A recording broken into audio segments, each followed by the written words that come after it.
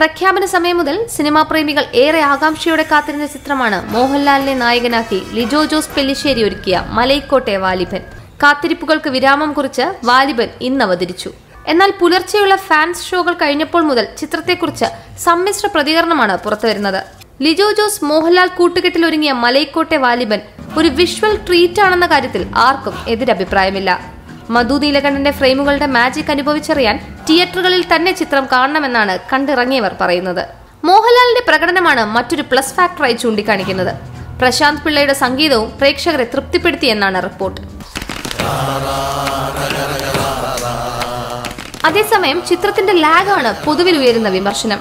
ഇതിനിടെ ലിജോ ജോസ് പെല്ലിശ്ശേരിയുടെ പഴയ ഫേസ്ബുക്ക് പോസ്റ്റും ആളുകൾ കുത്തിപ്പൊക്കുന്നുണ്ട്. Sorry guys no plans to change no plans to impress എന്ന രണ്ടായിരത്തി പതിനഞ്ചിലെ പോസ്റ്റിന്റെ സ്ക്രീൻഷോട്ട് പങ്കുവച്ചാണ് പല വിമർശനങ്ങളും പരിഹാസങ്ങളും ഉയരുന്നത്.